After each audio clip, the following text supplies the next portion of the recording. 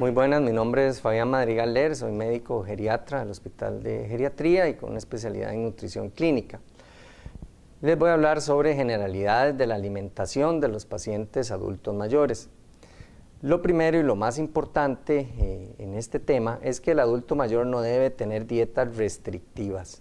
¿Eso qué quiere decir? Bueno, que si en algún momento eh, durante su, historial médico le dijeron, vean, usted no puede comer más cosas con grasa o, lo dulce trate de eliminarlo.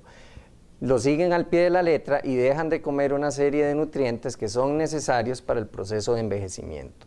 Entonces, primero, no se deben hacer dietas restrictivas en el paciente adulto mayor.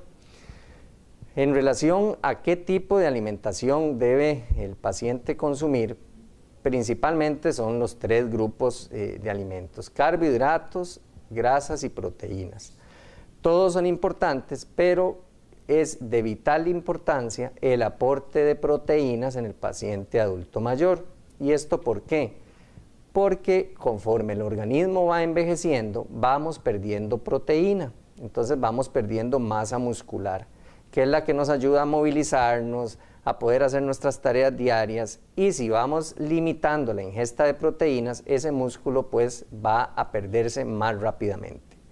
¿Cuáles proteínas? Bueno, principalmente eh, las de origen animal, ¿verdad?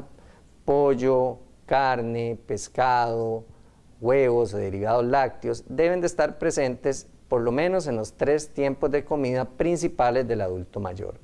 Es decir, que el desayuno eh, se incluye la parte proteica, ya sea en forma de huevo, en forma de queso, al almuerzo también y en la cena también. Y en las meriendas, pues lo que hace uno es introducir más que todo la parte harinosa o la parte de carbohidratos para que eh, tengamos esos tiempos de comida suficientemente cubiertos.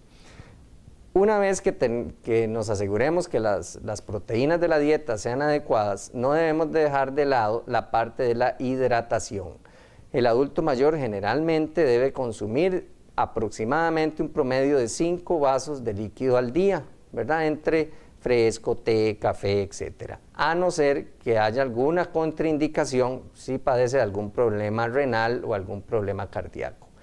Pero acordémonos que conforme nos vamos envejeciendo, la percepción de la sed es menor. Entonces, muchos adultos mayores no refieren ese deseo de estarse hidratando, pero es eh, nuestro consejo que siempre se le den esos tiempos de alimentación y esos tiempos de hidratación para así evitar eh, problemas como la deshidratación, problemas eh, que vienen a ser secundarios a que no se da este adecuado abordaje.